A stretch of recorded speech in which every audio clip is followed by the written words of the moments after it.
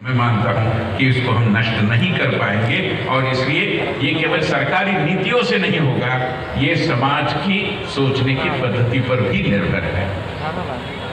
मैं अंत में केवल दो विषयों को स्पर्श करते हुए अपनी वाणी को विराम दूँगा। पहली बात यह है कि आज जब विश्व भर में ये बैक टू द